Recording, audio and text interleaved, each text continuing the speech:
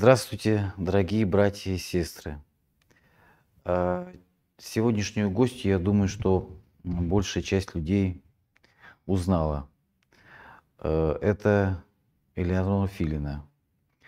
Элеонора Филина прославилась тем, что, во-первых, она, а, да, она прославилась тем, что она э, Вела в свое время программу «В нашу гавань заходили корабли». Да, я не об этом. Вела-то она вела, она продолжает ее вести и продолжает пропагандировать и Популяризировать, популяризировать и пропагандировать, да, дворовую песню. Дворовые, душевные российские песни, скажем так. Да, и э, помимо вот этой пе- передачи, которая в нашу гавань заходили корабли, это уже было давно, все, все по- Мгм. многие поколения, конечно же, помнят. А, сначала это было по радио, Да. Царство Небесное с э, Эдуардом, Эдуардом Успенским, да. Успенским, да. И много уже кто ушел из тех, кто Да, там был. да. Вот, интересно, архивы, кстати, остались какие-то где-то или Ну, у меня. У меня, Есть, в да? частности, да, Мгм. записаны. Пока Вот. не знаю, кому они нужны или не нужны. Там интересно Я очень, думаю, там что со временем э. Гертом Зинофимовичем, с Владимиром Меньшовым. э, Много интересного. Вот, и сейчас уже не будем называть телеканалы, которые до этого были. Также Леонора Филина, к- как вы поняли, телерадиоведущая, в принципе. Э. Также она в свое время была редактором программ на радио, да? Ну, в принципе, да, давайте закончим. Журналист, все. Да, журналист нет, но мне хочется вспомнить прошлое все-таки. Вы закончили педагогический институт, Э, Закончила э, работали педагогически, психо- пси- психологом, да. педагогом работала, да, и в саду, и в школе. А потом так моя жизнь повернулась. Вот, что называется, Божий промысел. Потому что э, как-то всегда мне казалось, что где-то вот... Я представляла себя на радио, на телевидении, правда, нет. А певицей представляла себя, хотя бы голос- хотя голосовых данных как таковых, вот как в то время это были Зыкина, это бы- были там Пьеха, Кобзон. То есть у меня совершенно другой слабенький, так сказать, голосочек и все.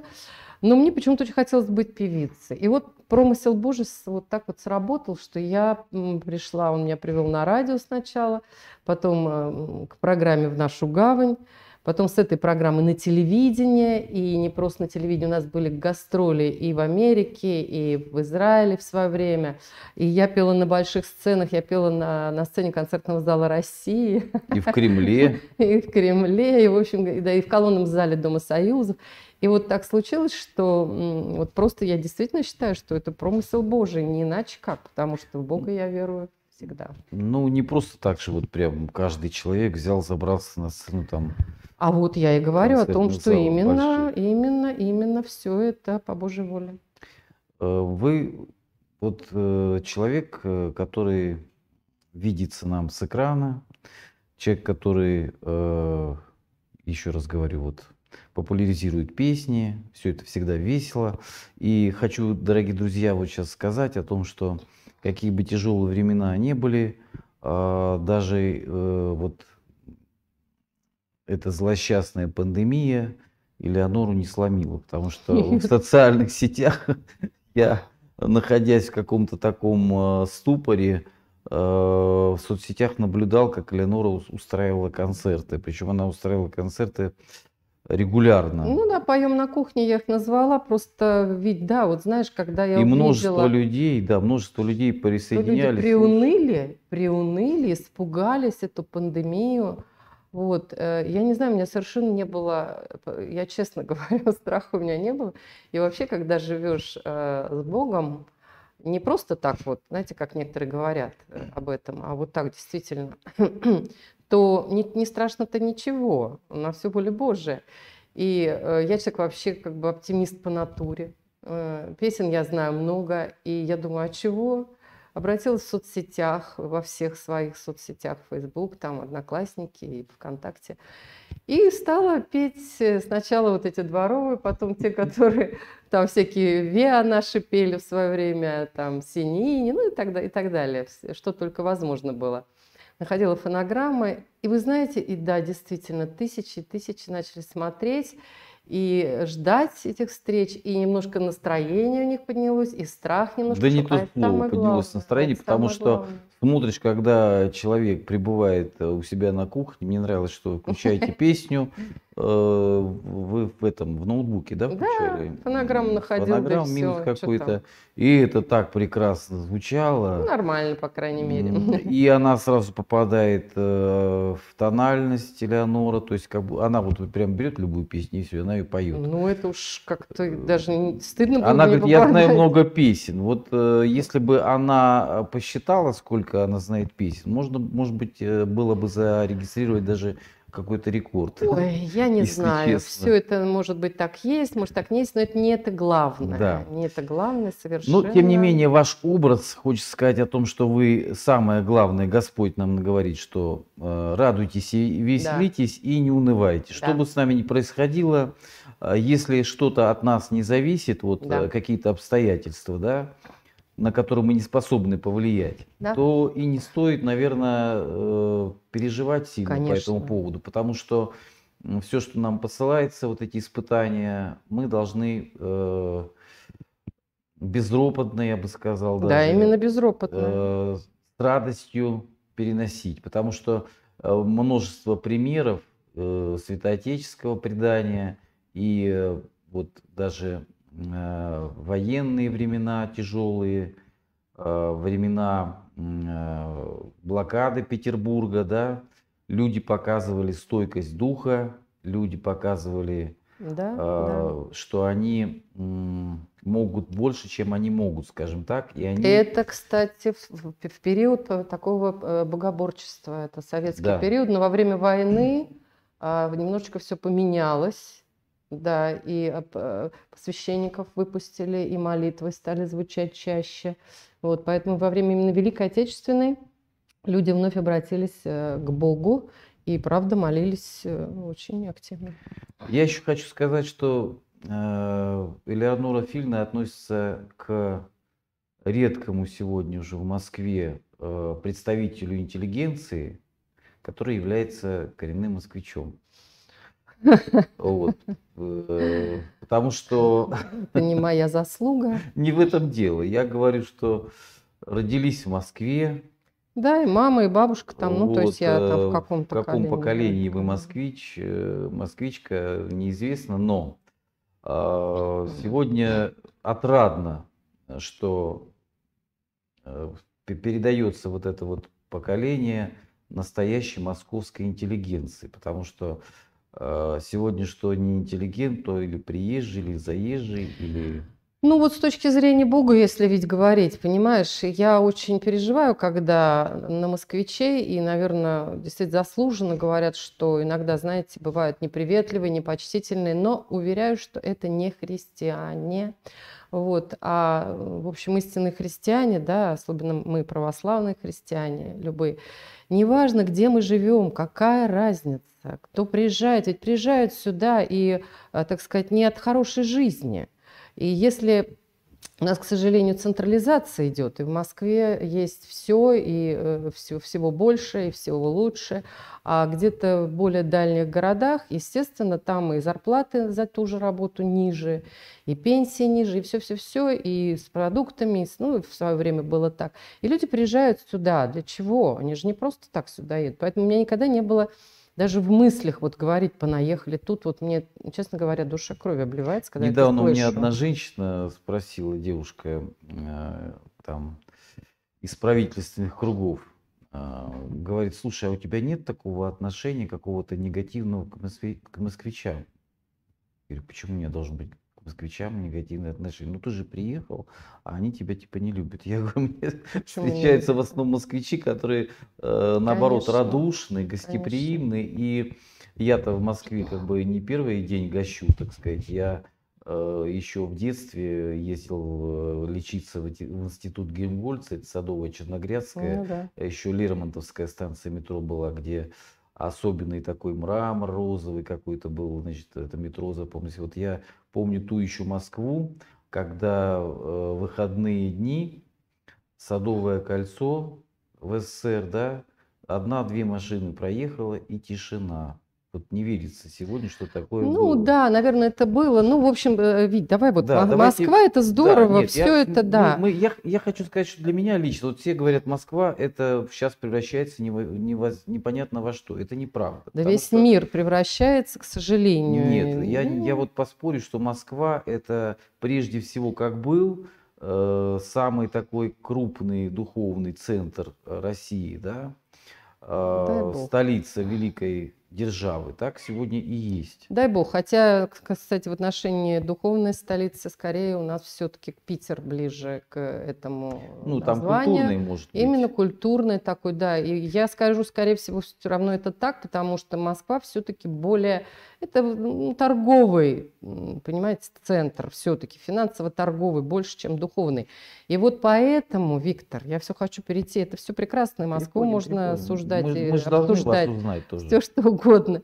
Но вот э, лучше о другом, потому что мы сейчас находимся в потрясающем месте, совершенно, да, ведь Да. это же, ты об этом говоришь? Конечно. Все- Мы об этом говорим постоянно. Это храм Сергия Радонежского на Ходынском поле.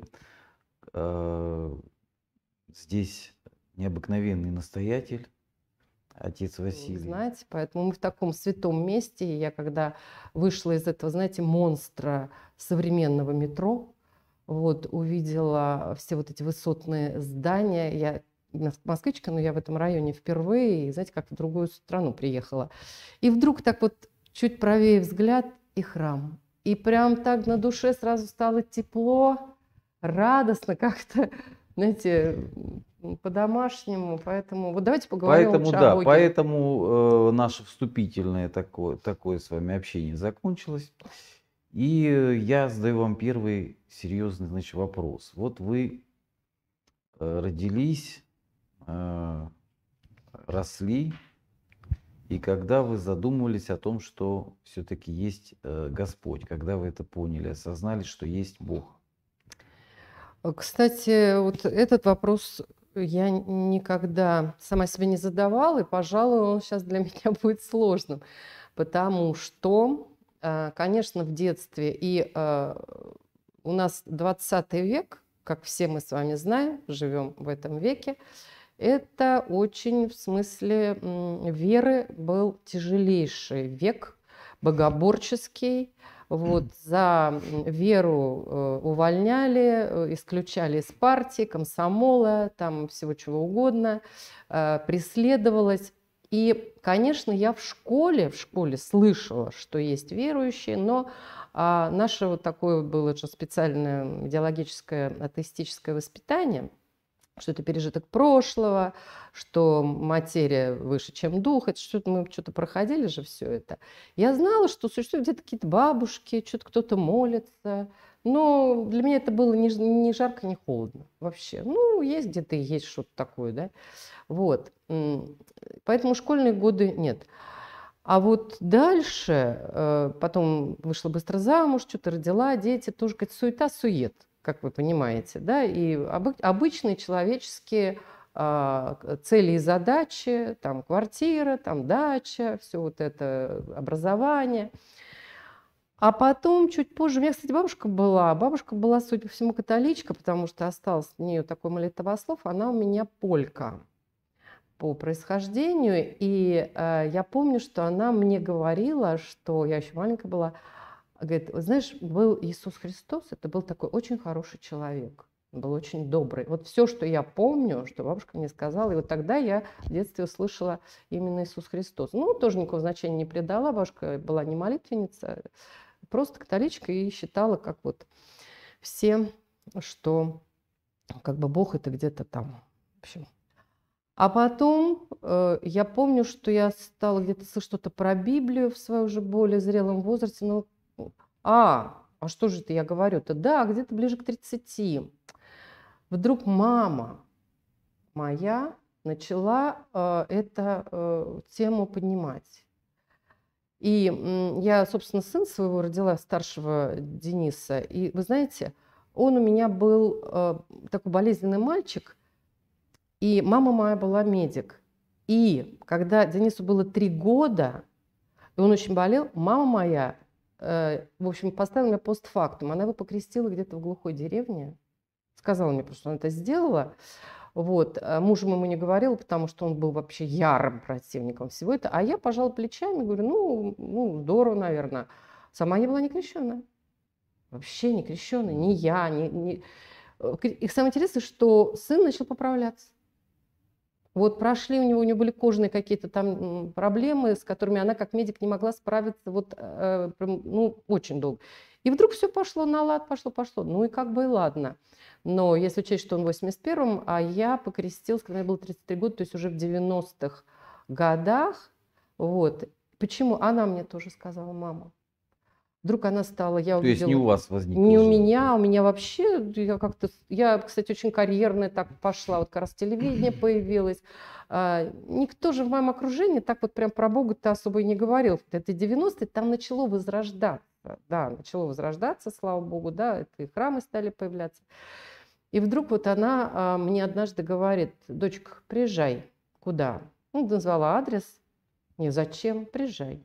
Я поехала. Казалось, что это Илоховский а, храм, собор.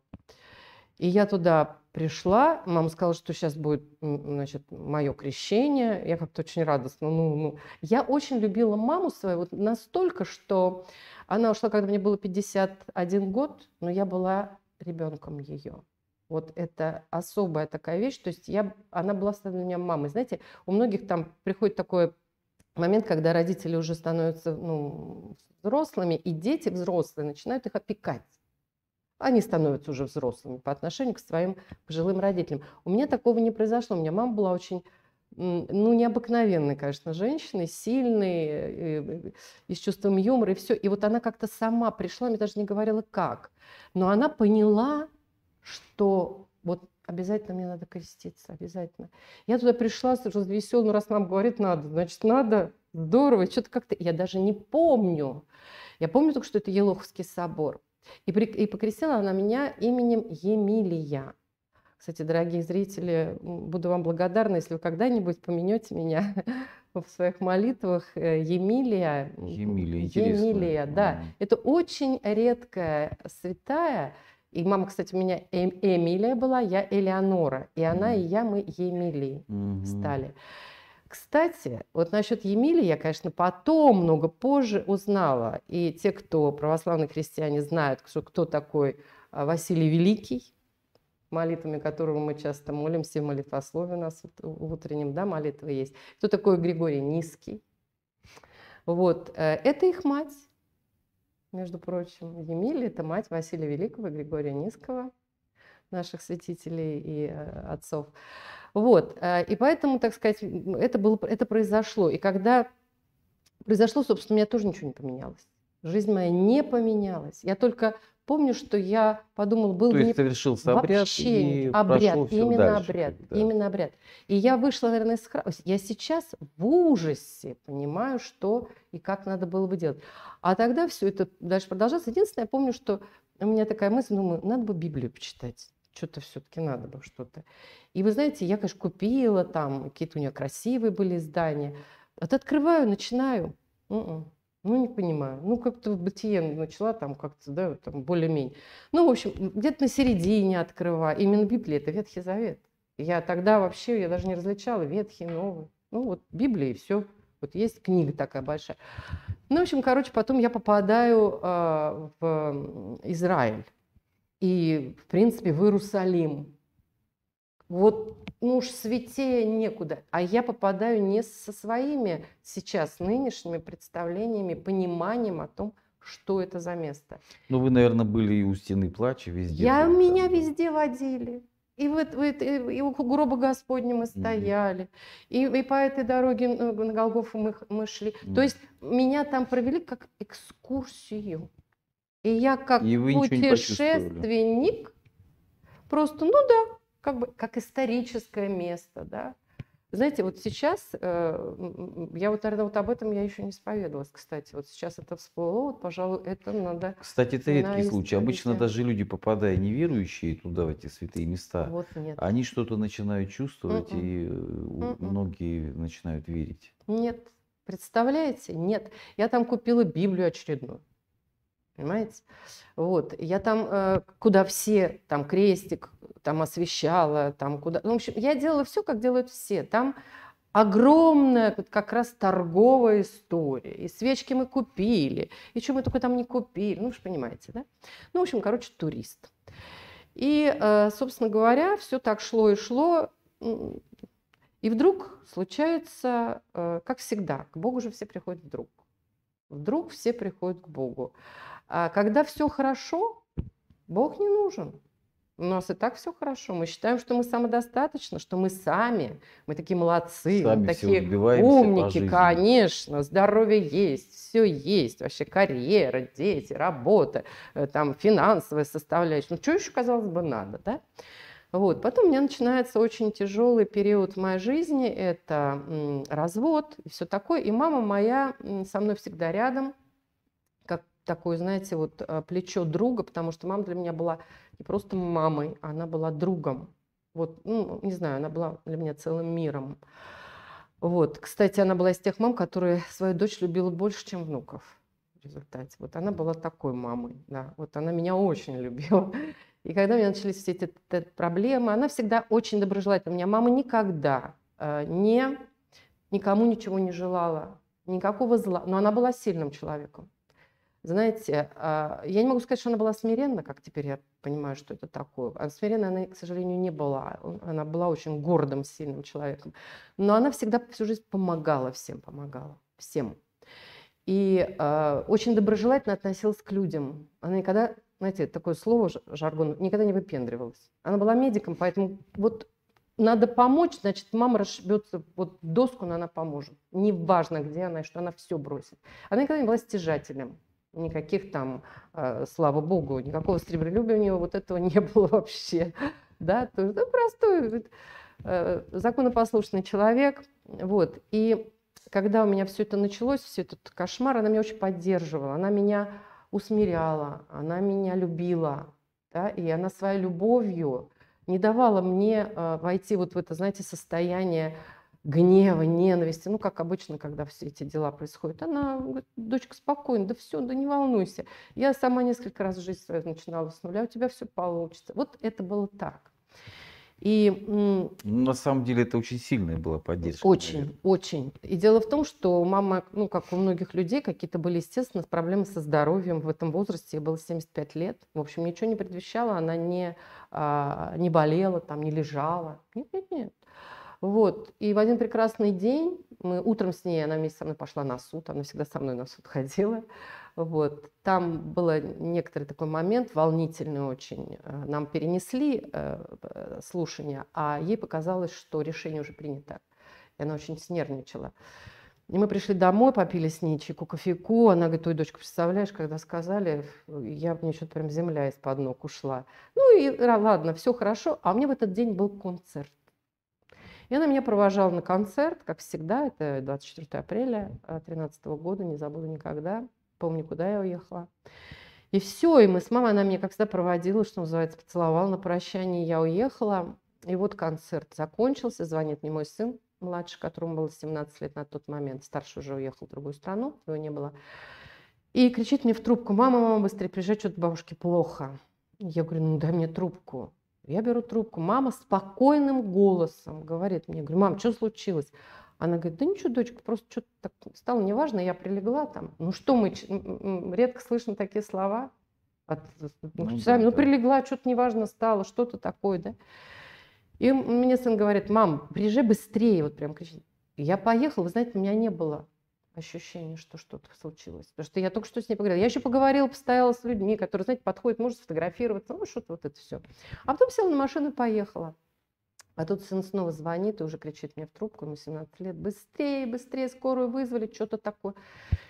Ну, в общем, короче говоря, ехала я в пробке, кричала так, что белугой просто. Я не могла выйти машины, пробка стоячая. Кричала, молила Бога. Вот тут я молила Бога. Вот тут я просила, Господи, помоги. Я орала так. Я никаких молитв толком не знала, но я кричала.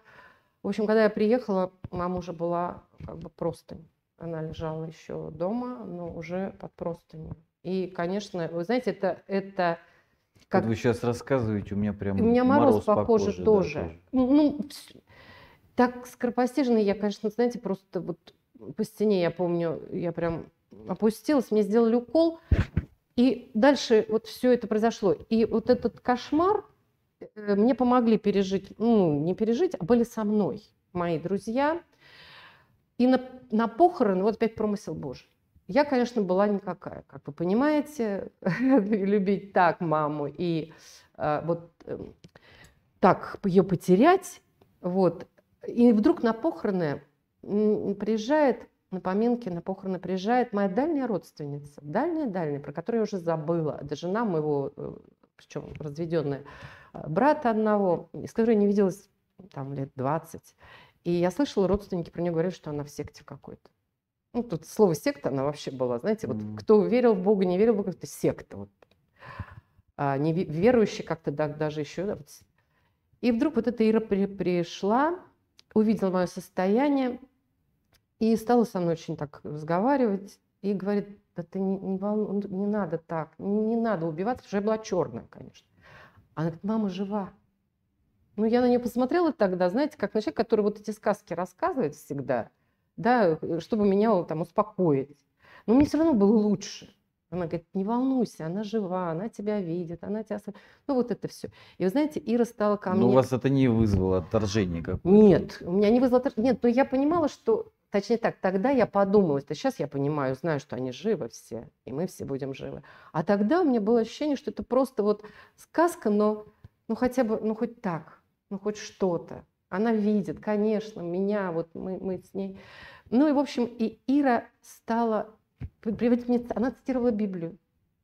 Очень легко. Вот я до сих пор, я уже год, как бы, но я не могу так цитат. А она, она к тому времени уже была 20, по-моему, лет, занималась этими, читала Библию, изучала. И, и я попросила ее вместе Библию читать, потому что она ее не могла осилить. И я понимала, знаете, я в этот момент была потеряна. У меня, э, я в этом я исповедовалась и каялась, что у меня были мысли самые страшные я уже не хотела жить.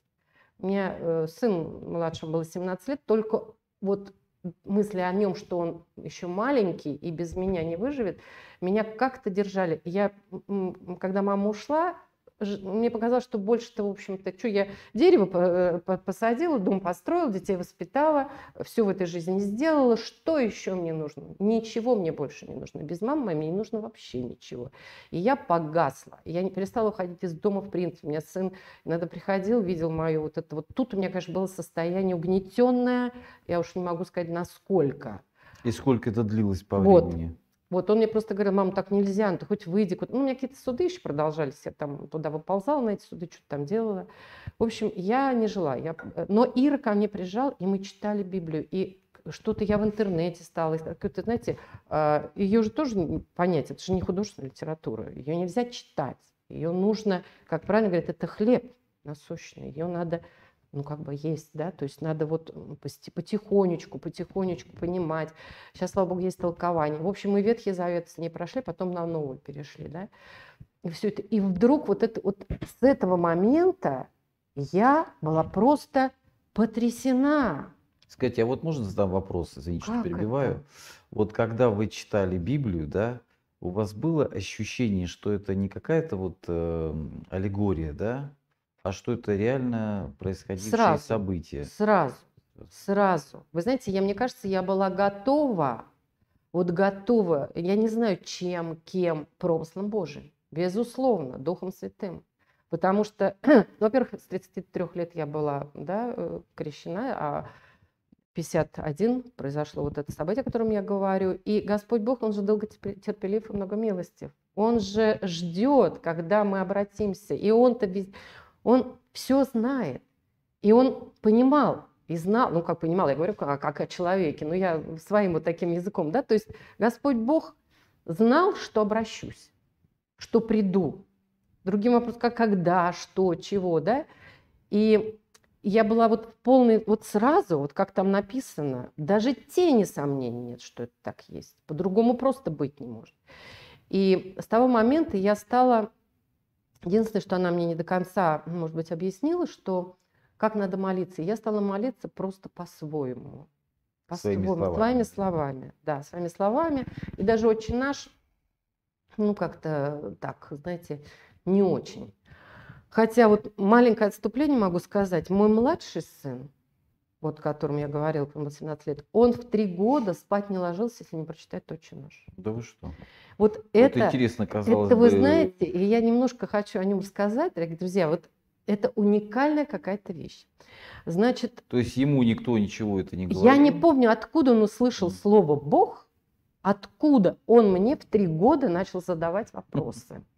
Подождите, я родила, вот смотрите, я его родила в 33 года, собственно говоря, но это где-то вот близко, значит, к- и, соответственно, ну что, вот э, мне же было 36, а ему вот 3 года. И где-то что-то вот он услышал про Бога, понимаете? хотя в храм я не ходила, не крестилась, я очень наш не знала. Откуда он выучил, я не знаю. У него крестик. А, потому что мы его крестили в три года. Куда, что же это я Ну мелю-то, ерунду какую-то. У меня была вот, у меня была подруга, простите, простите ради бога, очень выцерковле- выцерковленная э, женщина, очень. Она в храм все время ходила. И стал такой вопрос, надо бы крестить. Ну да, надо бы. Райк, будешь крестный? Мы- «Да, Конечно, я его очень любила. И мы пошли в тот же Елоховский. И покрестили Влада. И я его снимала. Рая, она просто, вот она... Вы бы видели, дорогие друзья, как он крестился. И вот как говорят, знаете, я, я вообще не могла поверить. Он смотрел, как она это делает. Он с пальчиками своими, как он клал поклоны. Это надо было, это было настолько серьезно. Это было настолько, вот, вы знаете, вот это, это вся душа этого маленького человечка просто была вот в Боге. И все, ему крестик повесили, и вот «Отче наш» он выучил и читал. Я помню такой случай, когда он, значит, встает на кроватке, встает и начинает читать «Отче наш», ручки сложит. И говорит, мама, а ты, ты знаешь «Отче наш»? Я говорю, нет, ладно, наизусть не знаю. Как же так? Ну как же ты можешь? И вас это не трогало? Нет. Вот закрыто было, вот как говорят, вот когда Бог откроет, когда закроет. да. И я так типа хихи-ха-ха, ну молодец, мол, сынок, понимаете? М, Потом случай был ему 6 лет, друзья. Это потрясающий случай был. Значит, еду в машине нас на заднем сиденье. Едем по центру. И э, вижу, там можно было уйти вправо, значит, свернуть. А можно было прямо проехать, прямо было ближе. И я поехала прямо и тут же увидела, что пробка. А вправо уже не свернуть, проехала поворот. Но зато есть еще один, э, это уже, знаете, когда машины, наоборот, вливаются в этот поток, то есть э, встречное движение. Но там эти вот две дорожки, поворот направо и встречка, они через клумбочку такую и очень маленький проезд, и там они снова совмещаются в одну дорогу. Я увидела, что машин нет. Думаю, так, нарушу, нарушу. И я, значит, вот по этой встречке, можете себе представить, значит, сворачиваю. А что там мало, ну, метров, может, 50. Сворачиваю. И только я свернула, смотрю, а, значит, около этой клумбы стоит на мотоцикле полицейский. А у меня же вообще, я просто еду вот к нему. И я помню вот его выражение, значит, он стоит, прям, знаете, руки вот так вот, типа, батюшки. Вот оно как, оказывается, может. И я говорю, Влад сзади сидит, говорю, Влад, все, я тебя, у тебя аппендицит, у тебя болит бок, я тебя везу. А, и Начинаю ему говорить, как собрать. м.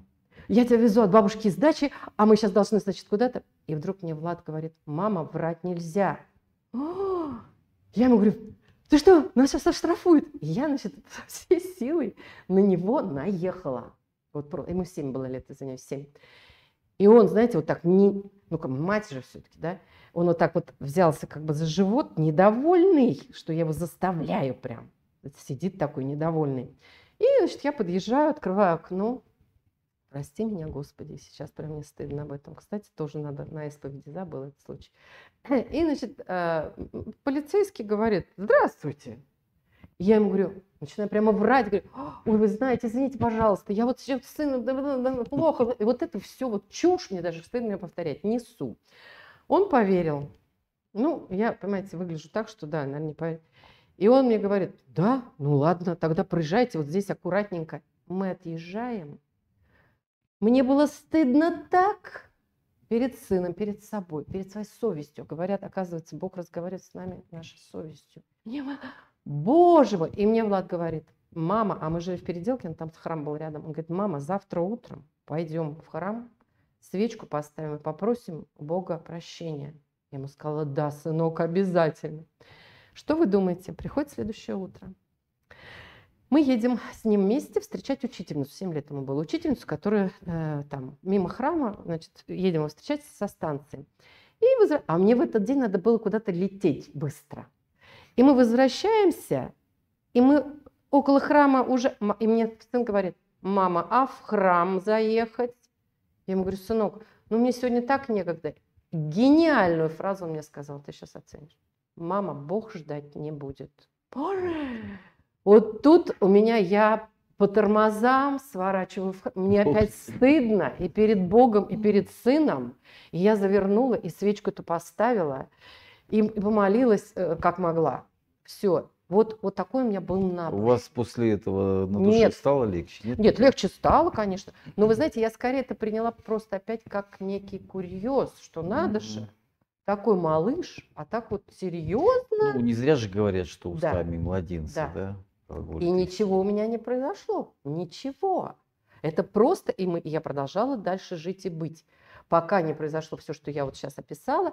Но сын-то постепенно, конечно, А сейчас он верит, утратил. извините, что прибываю. Вот, сейчас вот вам говорю, утратил, сейчас я доведу эту линию, утратил. И он э, как бы стал жить и быть, и крестик уже неизвестно где, и что-то у меня, что-то я уже не знаю, где там эти крестики, и все такое. Вот. И представляете себе, когда вот это все происходит, когда я вновь поняла, что, не то, что вновь, а когда я действительно поняла, что это такое, вот тут я сказала, Влад, а где твой крестик? Он, ну, ты что меня спрашиваешь? Не знаю, там, знаете, так уже взрослый. Это год назад было. Я тут же купила ему крест. Но он, правда, са- сам, я святую воду уже не просфору. сопротивлялся. Нет, он с удовольствием. Я говорю, Влад, каждое утро и каждый вечер отче наш. Вот он как бы, знаете, все это вспомнил, вот сразу стал это делать. Хотя у него сейчас такая ра- работа, в общем, связана с компьютером, и как они разговаривают, я даже, вот я не могу, я только говорю, Господи, прости, не ведают, что творят. Я вот молюсь, вот как угодно. Но, тем не менее, хотя бы утром, вот он встает, идет, наливает себе святую воду обязательно. Да, и сейчас, знаете, слава богу, у нас есть а, храм рядом с нашим домом, куда я уже часто теперь хожу, и у меня там, естественно, свой на- наставник есть духовный, отец Александр.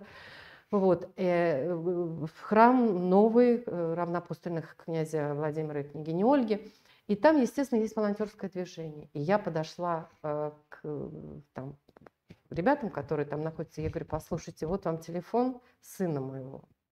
Пожалуйста, я сама буду приходить, когда могу, это другая уже история. Но его привлекайте, пожалуйста, каким-то работам. Ну, что-то иногда же надо, что-то помочь. Тем более храм там строился и так далее, запускался.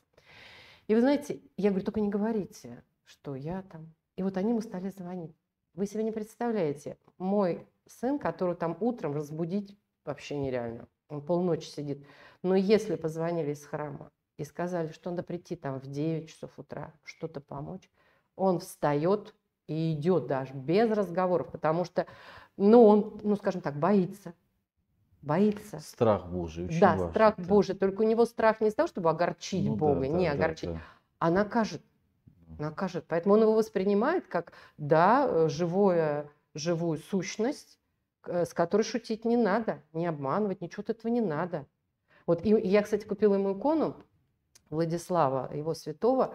Он сказал, мам, в мою комнату не ставь, потому что там идут такие Ну, Я слова. понимаю, да. Да, и он сказал, не ставь. Представляете? О как. Ну вот, а я год назад, э, вот, вот именно год назад-то я и пришла к такой вот православной вере, которой я должна была прийти. Ну, уж сколько у меня было таких случаев. А я, дорогие братья и сестры, вот э, когда батюшка, отец Василий, настоятель, благословил меня здесь, э, вот такие интересные беседы проводить, да, я позвонил Леоноре по какому-то вопросу Ну недавно. да, по-другому, по-творческому. Да. И я говорю, вот в вашей среде нет ли вот верующих актеров? Там, а что же далеко ходить, если я уверовала? И вы знаете, меня это так порадовало, потому что вы во всех отношениях, даже когда мы с вами где-то год назад, наверное, последний раз встречались, да, Ну да. Ну, до Вот, этого. до этого, да. Вы, вы как раз тогда еще только на- на- начали заниматься правильным питанием, все такое. Да, да, да, да. Вот. И э, вот не хватало вам именно этого самого главного момента, Мгм.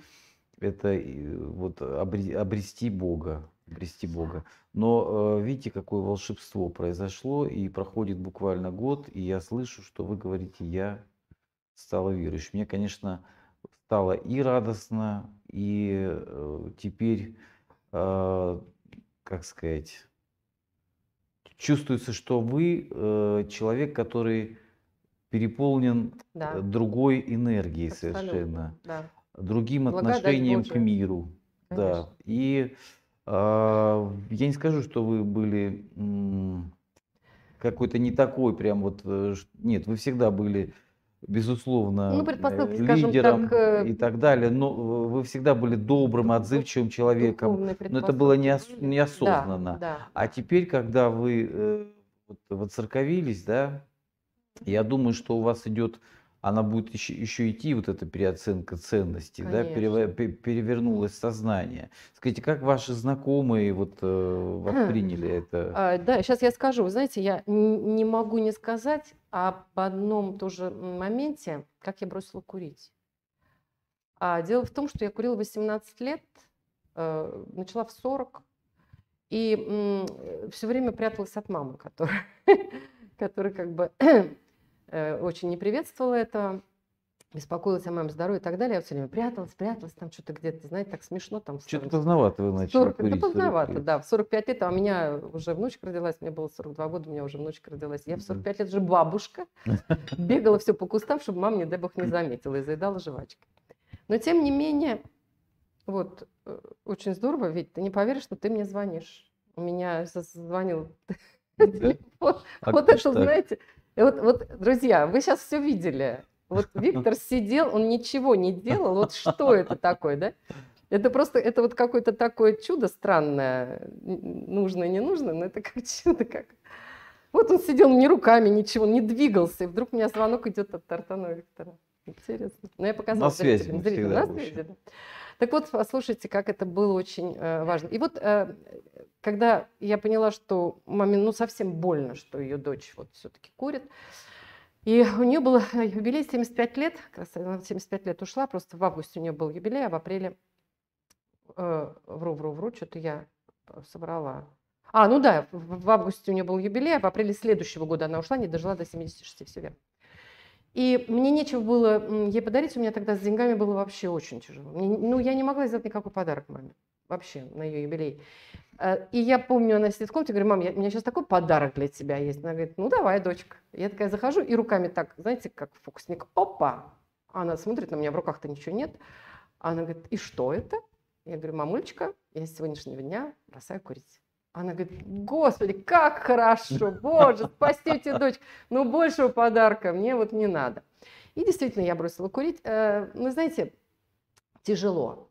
Мне было очень тяжело. Вот прям реально. Я, мне вот, вот это вот хотелось. Э, Я прям, знаете, вот от любви к маме я слово дала. Но иногда даже себе вот где-то как-то, ну, прям хоть чуть-чуть, вот прям, ну, старалась этого не делать. А потом бах, вот через несколько месяцев мамы не стало. И я в памяти о ней, а курить хотелось невероятно. Память о ней думаю, ну не могу, не могу я предать ее как бы вот, да, как-то, я же ей обещал. И что вы думаете?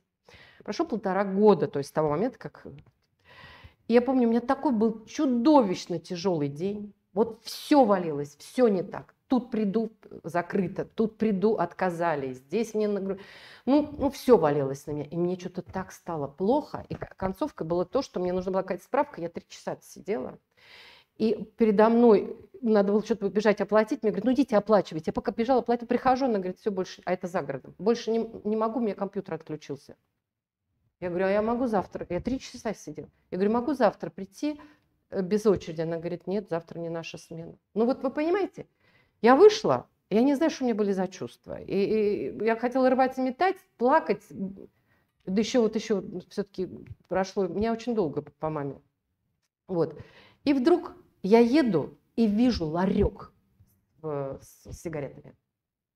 Я останавливаюсь, просто помню, на Кутузовском. Вот просто останавливаюсь. Подхожу, покупаю сигареты, вот затягиваюсь, и все. И мне хорошо. И у меня все проблемы потихонечку ушли.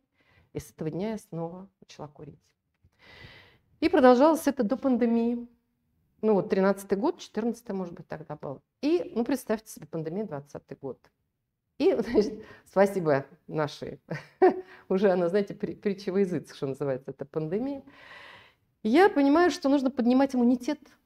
А как? Надо правильное питание. Вот начинаю правильно питаться. Питаюсь все правильно, значит, все такое, перехожу на это. Чего? Времени много, делать нечего, все по домам сидят, чего же не заняться.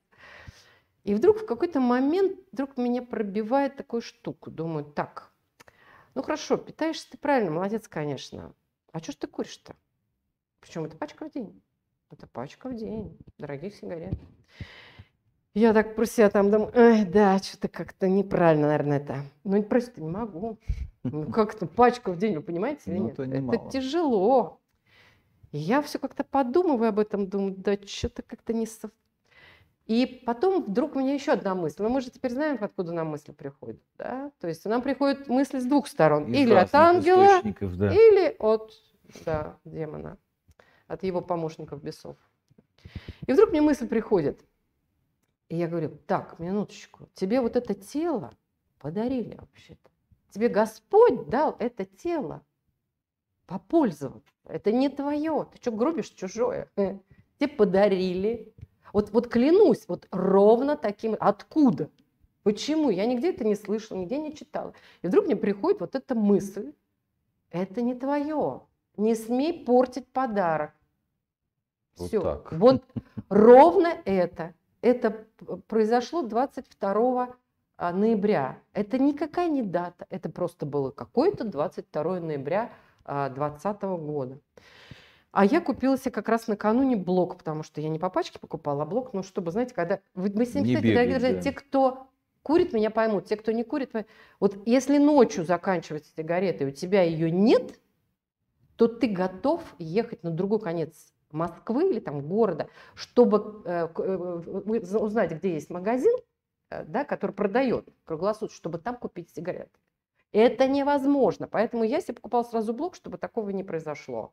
И заранее, когда он заканчиваться уже начинал, я покупала следующий. Ну, в общем, короче, чтобы себя не Ну, травмировать. осознали вы, значит, что это... И вдруг 22-го, как раз у меня полпачки только я выкурила с этого. бл- 10 штук еще полных сигарет. Утром 23-го встаю и говорю, я сегодня больше не курю. И не курю. До середины дня не курю. Ну, так как бы, так, знаете, что-то маленькое что-то такое, думаю, не, не, не курю. До конца дня не курю. А для курящих, они понимают, целый день, ну, представьте, если 20 штук сигарет в день ты выкуриваешь, то это примерно даже это меньше, чем раз в час. А тут ты уже много часов, и ты не куришь. Это... А потом, знаете, вот эта привычка, кстати, еще помимо прочего. Ну, вот во-первых, вот это... Рукой, рукой, рукой, рукой, Да, рука да, вот да, это. да, да. Ну, короче говоря, первый день не курю, второй день стал тоже не курю. Как бы, ну, ну, но об этом помню, что мне надо не курить. Но так как-то нормально совершенно. На третий день приношу своему сыну блок сигарет. А Он у меня курящий, ну, очень сильно курящий тоже. Говорю, сынок, тебе повезло. Ну, он уже у меня взрослый мальчик, конечно, что. Я говорю, тебе бы тоже бросить. Ну, вот я бросил. Он так, ха-ха-ха, знаем мы вас. Сто раз уже бросали. Да, уже бросали. Проходит неделя. У меня сын спрашивает, мать, ты что, правда, что не куришь? Я говорю, нет. Он говорит, что, не хочется? Я говорю, нет. Да ладно. Я говорю, клянусь, нет. Я, главное, еще- вот в тот момент я еще не поняла. Сейчас объясню, к чему я клоню. Не курю. А он-то курящий, у меня в доме курящий человек. Соблазн, казалось Да, значит, причем иногда он э, свои вот на кухне сигареты свои оставлял, пачку сигарет своих э, оставлял на кухне. Я так посмотрю, ну, пачка сигарет. Вообще, вот знаете, как отрубила. И я стала всем говорить, между прочим, курить бросила. Вот так, на раз. Вот вчера захотел. сегодня- И много позже. Я так и не закурила, конечно. Кстати, это ноябрь был, в декабре был Новый год, и, естественно, ну, отмечали, что-то выпивали, и все мои друзья курили, я стояла между ними, рядом стояла и не курила. Мне все говорят, что ты правда, что ли? Я говорю, ребят, ну клянусь, я даже не хочу, вот даже выпила не хочу, вот курящие меня поймут. И вдруг позже, когда я начала активно вот заниматься как раз уже а, вот в православной литературой, узнавать вот это все. Я говорю, Господи, так это ж благодаря тебе. Так это ж ты мне помог, это ж просто вот Духом Своим Святым благодать Божия. Понимаете, я сама, чтобы я сама смогла вот так легко за одну секунду бросить курить, нет. Нет, еще раз нет. И мы с вами, дорогие друзья, прекрасно, те, кто действительно верующие люди, прекрасно понимаем, как сказал Христос, без меня не можете делать ничего же. Ничего мы не можем делать без э, Святого Духа, без Бога. Ничего. Дорогие братья и сестры, Элеонора Филина сегодня предстала в новом обличии, э, в обличии верующей. Ну, это не обличие. Нет, это новый облик. Это новый облик все-таки, потому что э, вот когда человек э, неверующий, да, даже если он очень умный, он как бы немножко пуст. А когда в него вселяется Господь, когда да, человек вразумляется, да, мы видим, да. как он преображается. Поэтому э, вы, в моем понимании, обновились. Да, я обновилась. Вы заново родились. Угу. И вот э, скажите мне, пожалуйста, как часто вы э, исповедуетесь и причащаетесь?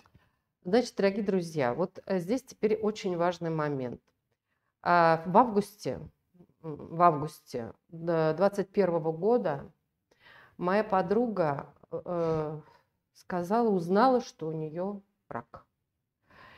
И вот здесь, а я до этого времени говорю, что ну вот просто ну, крестил. Я в храмы не ходила. Я считала, что в храм ходить не... Ну что, зачем мне посредники вот эти вот все? Ну зачем мне вот Можно дома молиться прекрасно. Да, да, спокойно себе. Я везде, Бог везде. Что я мне куда-то ходить там все. Короче, я ничего не знала про православие. Вообще ничего. Ну и когда с ней вот это случилось, а она такая же христианка, ну, я, знаете, сейчас показываю в кавычках, как и я была, как и многие сейчас, кстати, к сожалению. Вот, и я говорю, Маринка, это вот к Богу. И она так сразу, да. Я говорю, послушай, мы с тобой ничего не знаем, пойдем в храм и спросим у какого-то любого батюшки, который там будет находиться, что нам делать-то вообще, как нам, чего делать. И мы с ней помчались. Приходим, э, между службами, конечно, днем, там отец Владимир, такой мы узнали, это Ивановская, Ивановский храм, там у нас недалеко. И мы к нему подбегаем, такие, знаете, две дурочки. Вошли, смотрим, икон никаких не знаем, никаких не знаем икон. Ну, кроме, конечно, Спасителя Божьей Матери, вообще никого. Смотрим по сторонам, вот, э, подходим, говорим, извините, пожалуйста, а вот как вас зовут, отец Владимир? А, а вы не скажете, вот что нам надо делать? Ну, вот хотели бы, вот что-то надо, говорят, исповедоваться, ну, что-то блекотать такое начали. А он, мы-то думали, что он с нами поговорит, а он нам, знаешь, современный мир, конечно, очень интересно. Он нам говорит, послушайте, посмотрите, пожалуйста, в интернете лекция профессора Осипова, да. Владимира Ильича. Да. Мы достаем бумажку, значит, мы пишем Записываем. Осипов, чтобы, не дай бог, не читать. А я ему, а вы знаете, а вот еще в интернете, он говорит, минуточку, вот подождите, не надо все подряд в интернете, это опасно. Осипов Владимир э, напишите, пожалуйста, э, Алексей Ильич, что я говорю, Алексей Ильич, напишите, например, исповедь Осипов, там все услышите. Мы, ага, спасибо на большое. И мы приходим, я включаю и начинаю слушать. И когда, ну, э, давайте так, опять же, Господь дал мне, как мне, я уже теперь, мой духовный отец, отец Александр, он сказал, Леонора, вам даден дар веры. То есть Бог дал мне дар веры. Господь дал мне дар, я погрузил, я вот когда только первые слова услышала, услышала этого профессора, которую я теперь, конечно, э, а, а, Алексей Ильич, это, это нечто, конечно. Вот. Э, я слушала его в захлеб, вы знаете, мне кажется, я даже, мне даже спать не хотелось. Вот я, это, оказывается, целый мир. Да это, оказывается, Боже, в общем, первое, что мы поняли, срочно исповедь. Срочно. Первое, что надо делать, это исповедоваться, причащаться. А раньше, знаете, как все вот эти типа Вот после христиане. первой исповеди и причастия, расскажите мне, пожалуйста, что вы почувствовали? Почувствовали что-либо? Вот. Для начала я взяла лист бумаги, села и стала вспоминать свои грехи, и в такой кошмар и ужас пришла, Я, конечно, план писала, ну, так, чтобы не расписывать. Я поняла, как надо это тоже подходить, э, что. Я же, я же педагог, мне надо четко знать, как что делается. Конспектировать. Да, и я все услышала, поняла, как надо делать, сделала, и стал писать план, то, то, то, то, то, чтобы потом на исповеди все это сказать. Ну, во-первых, мне было стыдно, безумно, мне было стыдно писать. Но я, опять же, уже, уже узнала, стыдиться нельзя. Нельзя. Постыдные грехи скрывать э, нельзя. Ни в коем случае. Нельзя. Да, я это все писала, просто потом обливала, что называется, глаза не знала, куда деть, руки не писали. В общем, короче, написала я все вот этот кошмар. Ну, вот пришли и пришла. в церковь, и вам... И пришла, и всех пропускала. Потому что я понимала, что мне надо быть последней, потому что мне долго. Да. Стояла, дрожала, как лист вообще. И когда, наконец, пришла моя очередь, я встала, друзья, я не ожидала. Я, у меня начались рыдания. У меня начались рыдания. Вот я даже сейчас говорю, мне даже сейчас вы осознали греховность, Я, да? мне было, я даже не представляю, что это такое. Да, во-первых, ну я и до этого осознала, как бы я себя сама осудила до исповеди давно. Я понимала, что я сделала вот это, вот это, ну как ты могла? То есть я сама себя постоянно осуждала. Но теперь я поняла, что мне нужно э, это все перед Богом. Вот именно с тем человеком, который может отпустить мои вот эти кошмарные грехи, которые меня тянут. Меня, правда, они как камни тянули, понимаете? Каждый день я про них помнила. Короче, я все это, все это рассказала, все это зачитала. Меня просто рыдания трясли, прям просто. Я там ну, он меня, значит, вот Петрохим накрыл. В первый раз это для меня было. Я, знаете, это все поцеловала крест и Библию, отошла, потому что служба идет, отошла и ничего не понимаю. Мне, ничего, мне не стало легче. Мне не стало легче. Они со мной остались. Я стою, я даже не слышу, что там на службе идет. Вот. Я потом, знаете, Подхожу снова во время службы к этому же батюшке, говорю, простите меня, пожалуйста. А, а вот меня, я вот, а мне ничего не Он говорит, э, вы спокойно, вы сейчас все сказали. Это потом вы будете потихоньку, постепенно. То, что вы себя не простили, еще долго не простите. Это и правильно, это ваши грехи. Господь простил. У вас Господь сейчас простил, и вы еще даже не понимаете, что это такое. А вот на э, причастие пошли много позже, потому что мы узнали, оказывается, что причастием надо каноны читать, ну, да, последование к святому причастию. Откуда мы? Нам рассказали, что надо... Вот я помню, мы, я купила свой первый молитвослов, на котором было по-русски написано. Не, и именно русские слова, понимаете? Но он настолько шикарен, а, оказался. Я увидела с левой стороны, это я сейчас показываю ведь, там на старославянском написано – Написано на И перевод, да? А справа русский перевод. Вообще русский. Не, не старославянскими словами, помню, да. а русский. Понимаете? И э, когда женщина, которая продавала, говорит, зачем вы покупаете русский? Я говорю, чтобы мне понимать. Она не, меня не, не говорит, не надо. Вы же, когда едете в другую страну, вы же пытаетесь учить другой язык. Я с ней согласна. Но вы знаете, мне нужно было понять, о чем там речь. И я какое-то время, первое, я читала, конечно, молитвы на русском, только на русском. Я не думала, что я когда-нибудь зачитаю на старославянском. То есть я теперь могу спокойно, дорогие друзья, взять любую книгу на старославянском языке и читать, оказывается, теперь уже. Но потом, в следующий этап мой был, я читала русскими буквами, но старославянские слова, это вот обычные молитвословы, а теперь уже читаю и так. Все-таки вы не ответили на мой вопрос, как часто вы исповедуетесь? И теперь, вот смотрите, когда я пришла на, на первое причастие, во-первых, это целый час читать перед исповедью вечером, мы поняли, что да, надо да. сначала вечером пойти исповедаться, прочитать, а потом на утро еще, значит, прочитать вот это последование к святому причастию и пойти причаститься. И сначала мы причащались где-то раз в месяц старались уже вот с моей подругой, с этой, которая тоже уверовала, прямо сразу уверовала. Знаете, вот сегодня сказали, завтра она уже стала верующей. Вот уверовала, что она до этого, она говорит, ты знаешь, я ходила, свечки ставила, что-то такое там. Даже, говорит, по-моему, когда-то один раз причащалась, подходил, говорит, ну мне, говорит, как помню сейчас, священник, который ее причащал после того, как дал ей, значит, э, тело и крови Христовой, полбу ей этой ложкой отвесил. Вот насколько гордыня, видать, была у человека, в, в, вообще в повадках, что она полбу этой ложкой заработала. Она же не понимала, что это такое. И теперь мы поняли, и вот мы пришли сейчас, сейчас, мы стараемся, и она и я, ну, я в частности за себя говорю, я очень стараюсь причащаться раз в неделю. Очень стараюсь. Иногда Ну, это бывают. просто даже совершенно, можно сказать. Ну, вы знаете, все мне, мне по-разному, мне, я с благословения теперь, я понимаю, что нам все надо на благословение, мы же все Да, сами да, все знаем, конечно, понимаете, да, мы же да, сами да. умные.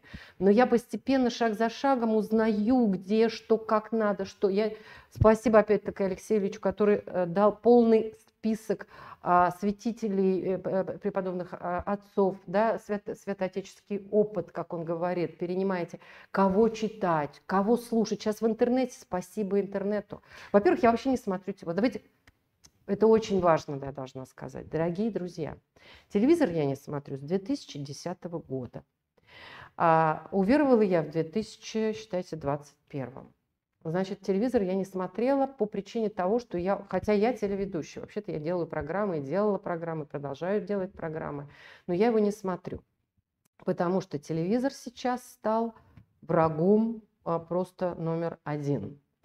Причем он настолько это Агрессивен. и агрессивно. Там, там вот, вот все, что можно плохого, все сосредоточено там. Но как лукаво, мы же сейчас живем лукавый век, да, как лукаво сделано. То есть это э, демоны, бесы, те, которые веруют, понимают, о чем я говорю. Те, кто не верует, может сейчас ухмыльнуться, но зря. зря. Так вот, это прекрасная э, вещь.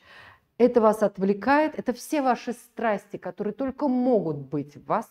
Это взвинчивает в этих всяких программах. Разжигают. разжигает. Там где-то какая-то любовь происходит, там предательство. Здесь кого-то осуждают, здесь кого-то обсуждают, здесь политика. И мы это Все- все проживаем И в своей вот душе. все вы свои страсти, вот вам этот дьявол ваши страсти подогревает, которые вас в результате приведут куда? В ад. К нему же и приведут.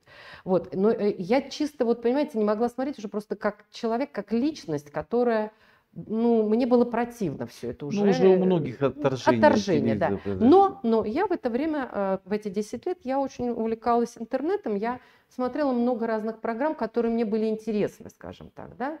Вот. Среди прочего, честно говоря, сериалы, потому что, ну, как-то сейчас уже в таком возрасте, тут какие-то мелодрамы какие-то, вроде бы как симпатичные, что-то такое. Конечно, много о природе, там, та-та-та-та.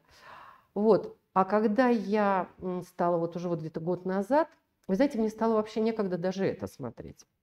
Мне мой сын тоже, кстати, очень удивился. Ну, говорит, мам, у меня раньше компьютер все время стоял, всегда. То есть вот он вот спать ложишься, когда что-нибудь посмотреть, ну, так всегда же что-то такое миленькое. Вот. А тут у меня все, компьютер стоит, в телефоне достаточно, книг много, я стала книги покупать, естественно, в храмах а, по совету, да, который даден был с экрана. Тоже вот интернет, вот для чего теперь у меня интернет? Там столько интересного, э, лекций того же Осипова. Там, а, пожалуйста, э, слушайте оптинских старцев всех, там они начитаны, все книги, все духовные книги начитаны, шикарными голосами. То есть есть время читать, читайте, нет времени, можно слушать. Ну, Опять же, надо осторожно подходить к этому Ну, всему, потому это что, мат- да, э, да, Нет, да. я же не слушаю все подряд. Я Вот я говорю, даже не что да. хочу называть а, имена некоторых Да. сейчас деятелей, ну, как бы а, от церкви, которые сейчас очень Блогерами активно стали. и оголтело чего-то проповедуют. Прям оголтело, я по-другому не назову. Вот. Нет, э, есть же книги, допустим, э, безусловно, там, там тут же, я не знаю, Иоанн Кронштадтский, моя, моя жизнь Да, в Христе, да, да, во допустим. Христе, конечно. Вот, Да все что угодно. Э, Игнатий Бринчанинов, то, то, что, да, вот письма мирян. Да боже мой, мне Паисий некогда. Святогорец, вот Да, тоже прекрасно. Вы Да, шика- шикарный. С Много. болью и любовью о современном человеке. Вы не знакомы? или? Конечно, я, я уже не знаю, я много чего слушаю и читаю, и я завелась, вот просто показываю вам, я завела себе тетрадочку уже не одну, куда мне, я иной раз просто возьму и запишу какую-то мысль придет, или какой-то очень важный момент, который мне надо потом еще раз пережить, и больше того, у нас теперь, знаете, у меня есть две подруги, моя, вот одна из них, та, которую я вам сказала, и еще одна рядом живет э, со мной, Марина и Ира. И мы теперь с ними по воскресеньям. А, безусловно, все ходим в храм. И я, и, мы Иру привлекли, которая тоже, знаете, пришла так интересно, дорогие друзья, те, кто еще не сот- Мы Иру вдвоем мы уже ходим, мы говорим, Ир, надо бы, она говорит, что, зачем? Ты христианка? Да. Крещенная? Да. Зачем в храм ходить? Не знаю. Она. Ну, пойдем, приходим. И первая служба, первая литургия ее. Мы-то уже что-то там разбираемся, уже слова даже разбираем, что там.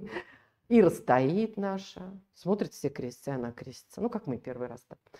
И вот она все, потом, смотрю, ближе же к концу литургии, она ко мне подходит, а там, когда, знаете, Богу, «А, Богу все помолимся, Господи. Она говорит, а что уже седьмой раз-то это все одно и то же? Я говорю, Ира, это сейчас, когда мы вспоминаем с ней. И вот мы стали, я стала больше читать, ну, девчонки, кто-то больше работает, у кого-то больше заняты по домашним делам, у меня внуки все в других странах, поэтому я более свободный человек на пенсии.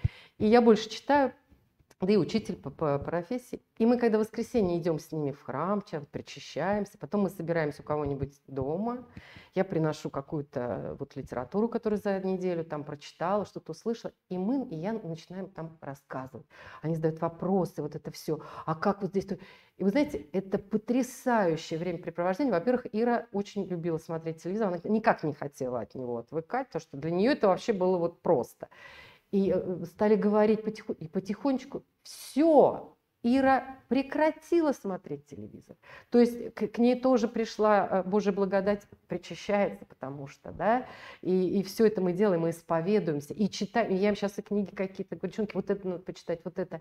И мы с ними созваниваемся, и мы обсуждаем о том, как дальше нам здесь жить на этой земле, в нашем тленном теле, и как дальше, потому что, конечно, мы все хотим в хорошее место попасть, в рай, безусловно. Те, кто верует, понимают, что есть два места, да, Царствие Небесное ну, Господь и Гиенна. за всех за нас пострадал, за все наши грехи. Он нам дал да, возможность, дорогие да. друзья. Этой возможностью мы с вами можем пользоваться. Вот сейчас вот небольшая проповедь, ведь это очень важно. Вот кто-то может мы можем пользоваться. А что за возможность он дал нам? Покаяние. Покаяние. То есть вот то, что мы с вами можем пойти, мы все грешные. Мы все грешные. Если бы не было покаяния, мы бы все в ад сошли даже, ну вот как было до Христа. Все куда шли, все в ад шли. Мы грешны после Адама и Евы, как я не своими словами уже говорю, да, то, что поняла. И вот эта греховная наша сущность, мы с ней живем. Мы вот куда-нибудь посмотрели, как мы говорим, да, глазами. Ага, что-то увидели, да. соблазнились. А, посмотрел, думаешь, что-то человек в этом и мысленно одет, согрешили, мысленно даже. согрешили и так далее. Грехи постоянно. Как с этим быть? Покаяние. Как мы говорим, не дай нам Господь Бог раньше конца, э, дай, дай нам Господь Бог раньше конца покаяние. Пошел, исповедался, причастился, тебе Господь Бог дал благодать, и ты можешь какое-то время не грешить именно благодаря ему. Это важно. Если вы этого делать не будете, то дорога одна в ад. Причем, когда мы это поняли, что это вечность, если даже кто-то начинает только верить, я считаю, что надо всегда просить Господа избавить нас вечных мук, чтобы нас э, вразумить и привести вразумить в храм. И привести. Да, правильно, потому что вот я еще раз хочу сакцентировать внимание, друзья, кто-то сейчас может не понимать, вечность, вот мы с вами живем пусть сто лет, пусть сто, да, хорошо, сейчас люди 150 лет будут жить, мы с вами живем, и мы стареем, наше тело с вами тленное, да, мы стареем, э, ветшаем и так далее, хорошо, мы живем сто лет, и все, да, а там вечность, вот если кто-то не понимает, должен это осознать. И вот ваша Она была вечность. Вечность. Будет, да. Вы будете или в вечном блаженстве, или в вечных муках. Кто-то в это не верит, скажет, ой, да ладно, что ты тут, что ты придумали? Хорошо, есть пари Паскаль, да? А если это правда так, вы не боитесь, вот я хочу понять, не боятся ли люди? Одно дело, вы стремитесь хотя бы, уж будем мы там или нет, Божий суд определит. Но мы хотя бы стремимся, мы стараемся жить по закону Божьему. Как понять? Как понять? Как понять? А, ребята, а все прописано. Вот я часто спрашиваю те, которые крещенные, говорю, ты э, э, Новый Завет читал, ты Евангелие читала? Некоторые мне говорят, а что это? Ну, клянусь, э, э, это не смешно, потому что, вы знаете, даже вот мои девчонки тоже первая штука, сейчас вот им скажешь Евангелие, даже в мыслях нет спросить, что это все понятно. А мы христиане, галочка. Все же крестятся, бегут, крестятся, что-то там, детей крестят быстрее. И чего, чему, зачем? В храмы не ходят. Зачем? Вот это так как я, я пытаюсь вот рассказать, ребят, если вы этого делать не будете, вы погибнете навсегда. Ладно бы просто погибнуть. Многие думают, ну вот, глазки закрыл, и все закончилось. да? Нет, там будут муки. Я говорю, вот вам палец прищемит, да, дверь, вы а, а, дверь открываете, а палец. А вот теперь представьте, что эта дверь никогда не откроется, и боль будет вечной. Это еще самое простое, что можно себе предположить. Элеонора, так? вы сегодня уже достаточно убедительно доказали Хорошо было бы, всем нам, да, всем нам доказали, что э, есть и вечная жизнь, и есть Конечно. вера в вашей душе, и Господь э, посетил и посетил Господи, вовремя, каждого посещает свое время. Не оставь меня. Вот, э, мне посчастливилось и моей жене познакомиться с вами уже давно.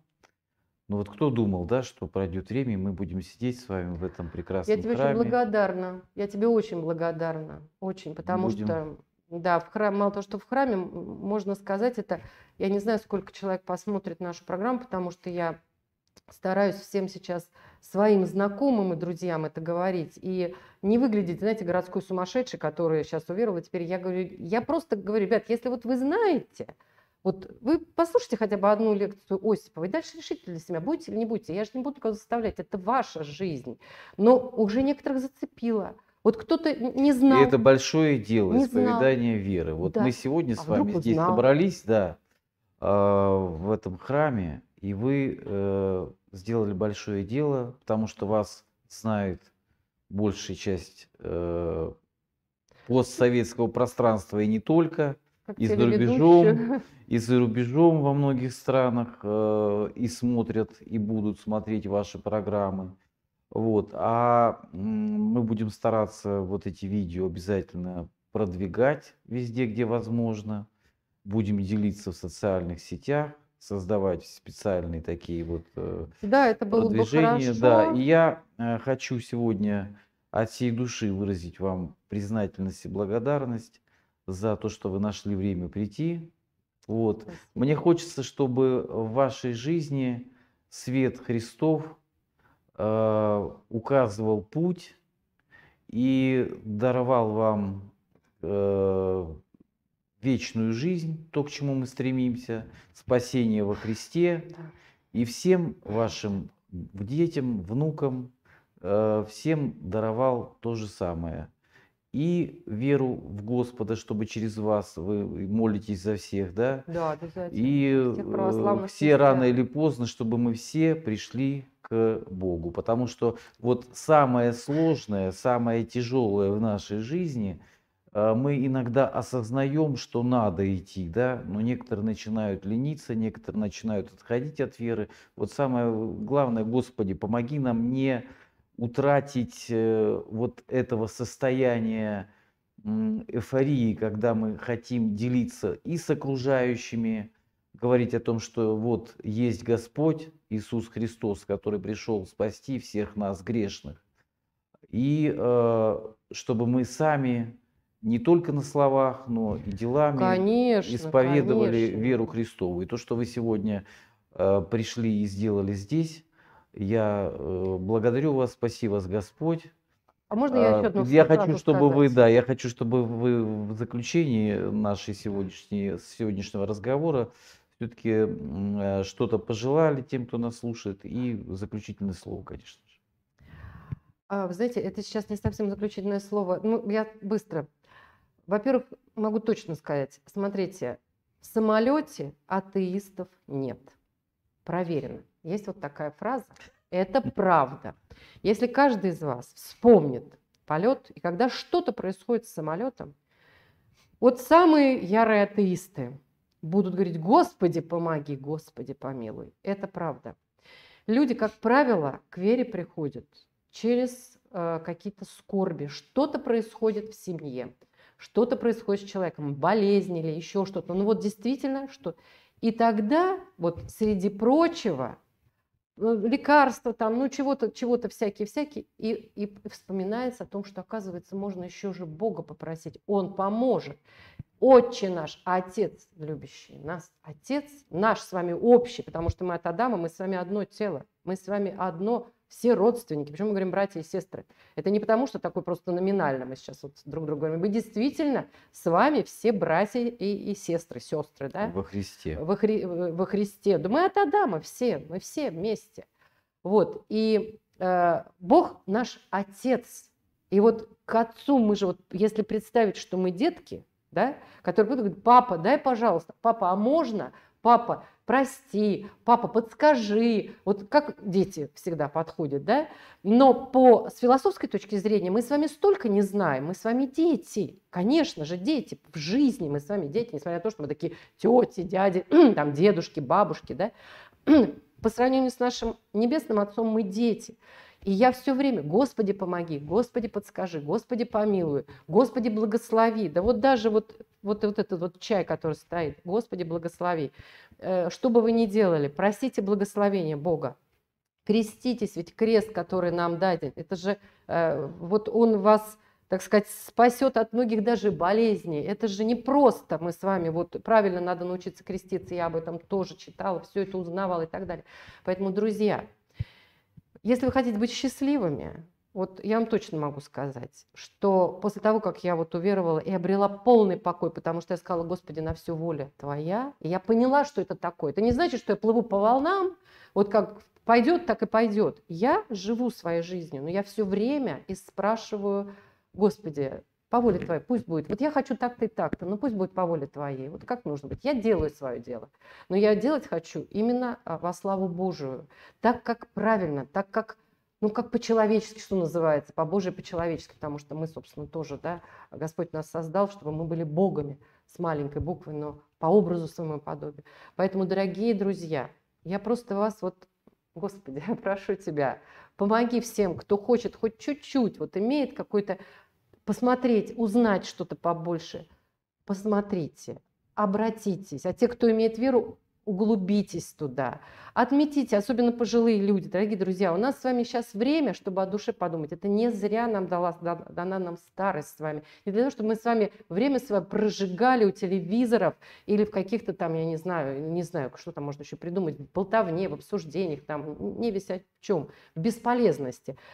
Вот туда окунитесь, столько философии, столько там интересного, там целый мир для вашей души. Э, это вот душа вам скажет, наконец-то, вот это она еда. Мы же просим, Отче наш, да, дай нам еды, да, Господи. Поэтому очень вам советую и прошу Бога за всех вас, чтобы Он дал вам этот дар действительно уверовать по-настоящему. И да спасемся все мы с вами вместе. Господи. Помоги нам всем. Элеонора Филина, телерадиоведущая, певица и э, православная верующая. Да. Спаси, Господи, что вы пришли. Спасибо, Витенька, тебе. Дай Бог тебе э, здоровья. Всем желаем здоровья и всем желаем спасения во Христе. До свидания. До свидания.